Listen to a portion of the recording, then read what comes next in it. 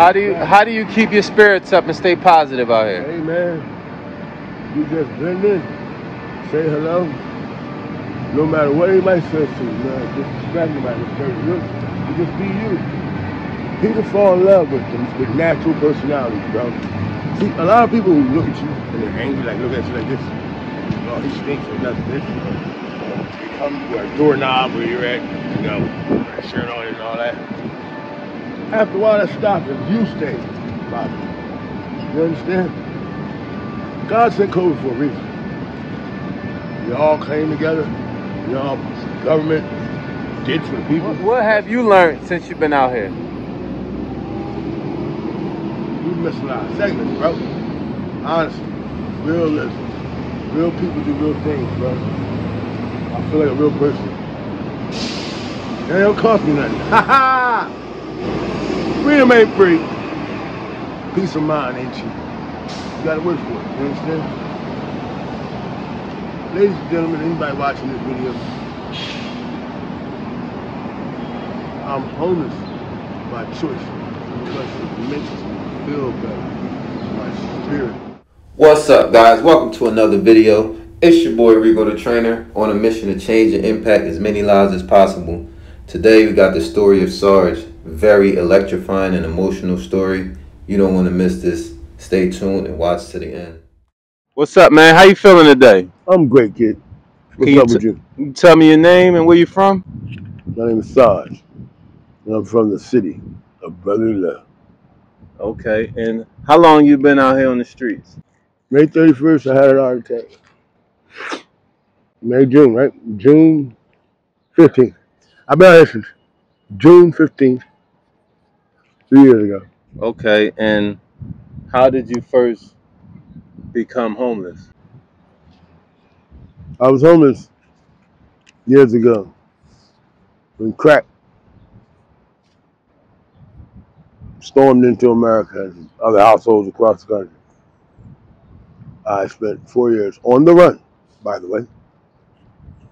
Several drug related cases and events. Now, homeless by choice and on the run.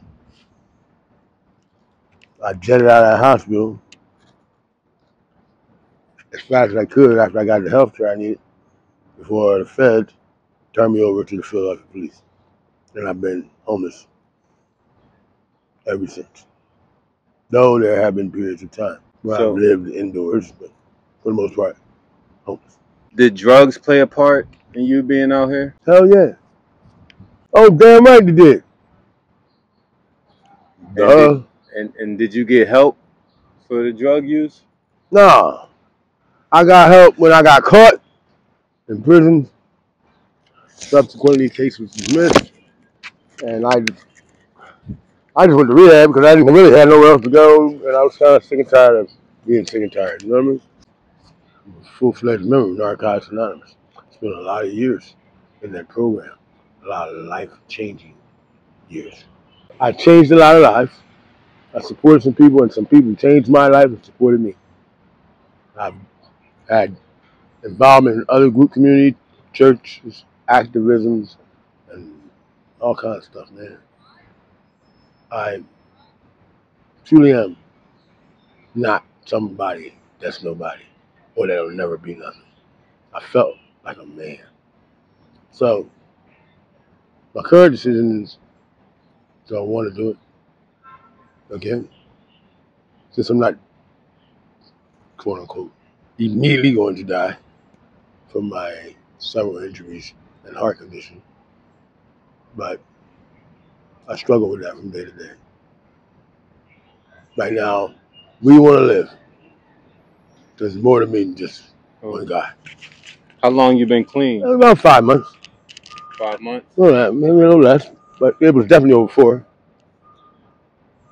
How how does it feel now that you're out here clean as opposed to when you were out here high?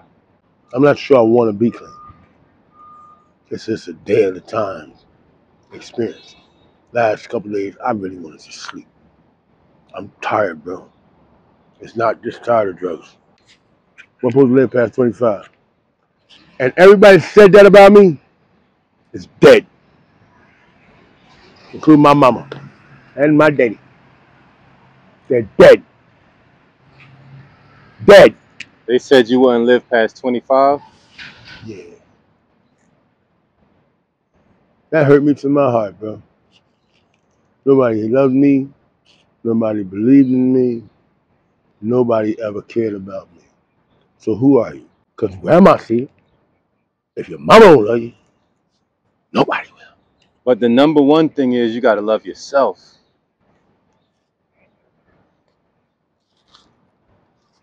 So when you start smoking crack, because goddamn it, that's the whole story in itself. I don't give a damn anymore. I'm tired. Bro, I'm tired.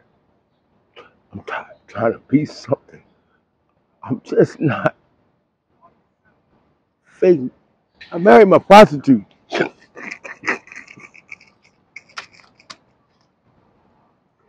And I'm raising the kids can't hate my guts unless I'm buying five, six, seven hundred dollar expensive items and shit like that. Same thing with the girlfriends. You follow me? Long story short, bro. I'm living my best life.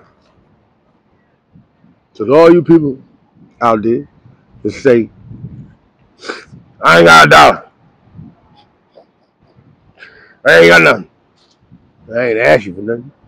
Or all you people who feel that people who beg or ask for help or live in the street are derelicts. Well, guess what? We are, and so are you. Never judge a book by its cover. That's that's how it is. Always take a look at the ingredients of a person. And that's all I've been doing. How you feel about me and what I do and who I am to you? What I'm trying to tell you is the people in my life that I met on these streets, yourself included, are the best friends I've ever had in my life. I got you, bro. I ain't got to lie to you. I can be who I am. I feel like a man, a good man, an honest man, a human being. You understand? We ain't having dressing contests and we ain't playing basketball. This ain't no games. I got a good life. And the people that I know or I let into my inner space are proud to be near me. You're real. And I'm sorry, like I said. I didn't mean to put you down. So I was out here, man, fighting for my life every day. I had some boa with a damn camera and some steps and some bricks to pick up and exit. What the fuck is this about? Oh, what you be healthy? What you be healthy? I'm an old man. My fat ass was dying from diabetes. I was 228 pounds. Where the hell was you at that day, Mr. Godson? My wife nursed me on that. I, met you And at the, the right job- time, man. It jo- everything happens in time and place. My wife ministered. Ministry. I, I, I think that's the right word. And dominated that eating change and uh, waste management. God hired a four-time felon and put me in a hundred and ten plus degrees over truck with the windows down, no air conditioning, and to jump out on my side and throw trash all day long and 78 pounds came off my ass in a summer. You understand, son? So I went from outgrowing all my clothes to throwing them out and getting new fat body clothes to losing 78 pounds and having no clothes. My own drawers didn't fit anymore.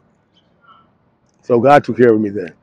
You came in and made a donation to my spirit wasn't about the bricks or the lifting or the exercise. You probably played a part in saving my life today. Because I'm talking to you now, bro. Tell you, bro, I'm sick. I'm sick. I'm tired. I remember you telling me you tired. had. I remember you telling me you had heart conditions, And I, and. I told you that you should be exercising. You remember that? Yeah, but I'm dying. I'm going to die.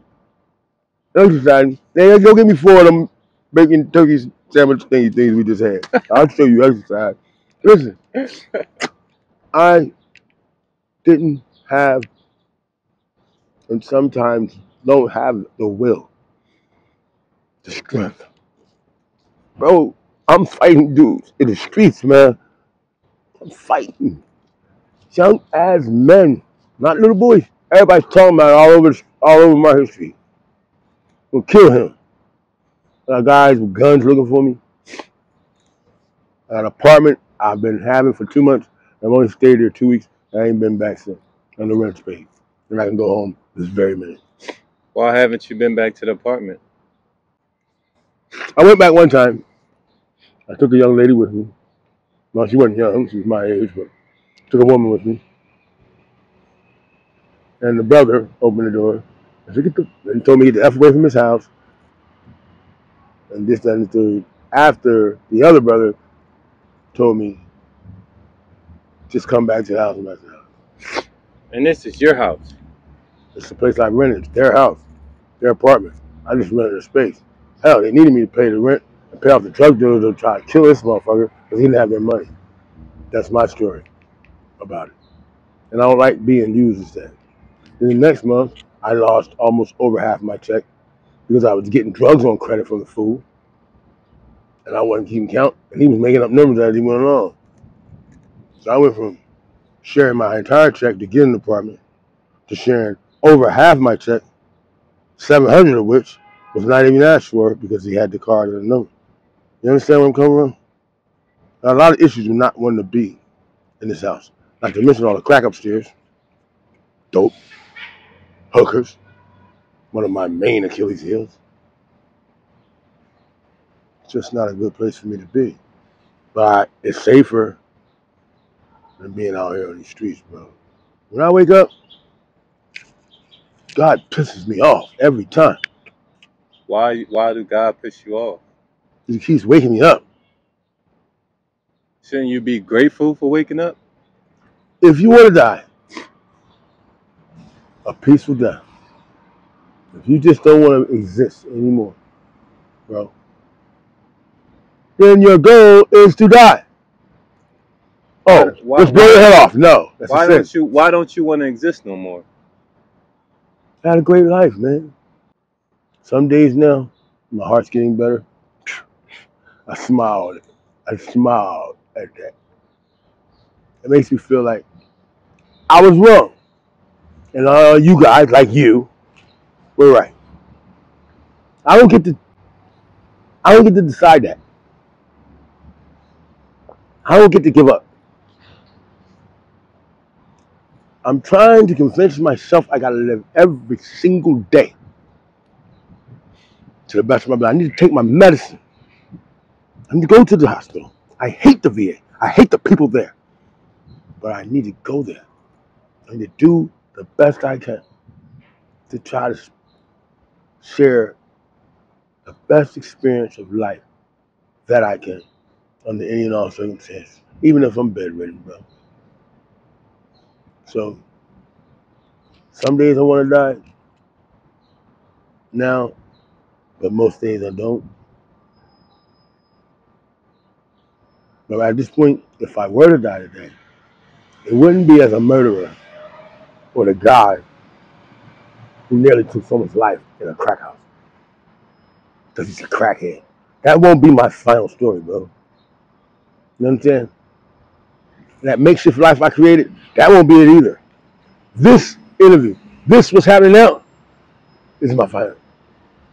Is is a part of my final story. You know what I'm Sarge. What what what what do you want your final story to be? If I can stay level headed, if I can get all, you know, if I can put it, I put everything back together. And you know that three months where I had, I had like 18 pairs of sneakers, bro, shoes, clothes. I was flying hell. Yo, I had a life, bro. I was about to buy a car, but since I was going to jail for the rest of my life, I didn't dive into that. I almost did. I should have. Uh, It felt good being my old self. No, I can't say that. It felt good being my real self. You understand, Reko? My life before the tragedy was fake. I financially orchestrated every relationship, including my own children. Got me? That my other family don't even know about. And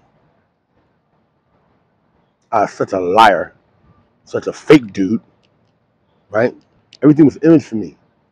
So the life I live today, even though it starts from this park and I'm baking, and I ate the whole thing. That shit, fuck. That shit was good. Yo, that shit was, bro, that, that just messed the whole interview up. Listen, It was good. How good? was I'm about to go down there and bang at the door. Yo, can you make give me a sandwich? you watch, you fucking watch. I'm going right down there. Uh, listen, uh, That sandwich was good, I feel like I'm having sex in my mouth. Bro, this shit is fire. huh? the sandwich so good. I Feel like you're having sex in your mouth. It is merely impossible to help everyone, but my mission is to change as many lives as possible. Thanks for all your support.